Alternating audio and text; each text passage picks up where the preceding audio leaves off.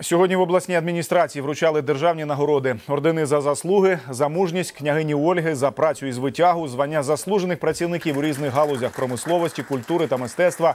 А також подяки від прем'єр-міністра України отримали 23 мешканця Дніпропетровщини. Це відомі особистості, які заслуговують на пошану за свою діяльність і відданість справі, особливо у сьогоднішній непростий час.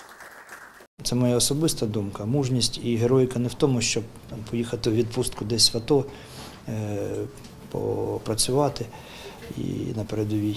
А справжня героїка в тому, щоб 26 місяців, день і ніч приймати, лікувати і рятувати тяжких поранених, як це робить е, велика команда Сергія Риженко, лікарні Мечникова. Це справжні герої України. На самом деле очень горда тем, что это очень почетная награда. Вот, но э, есть отпечаток очень такой горечи, да, потому что, к сожалению, война продолжается. К сожалению, каждый день поступает информация о новых погибших, о раненых. И хотя бы вот таким вот образом мы э, имеем повод еще раз сказать, что у нас в стране идет война и что мы ни в коем случае не должны забывать об этом.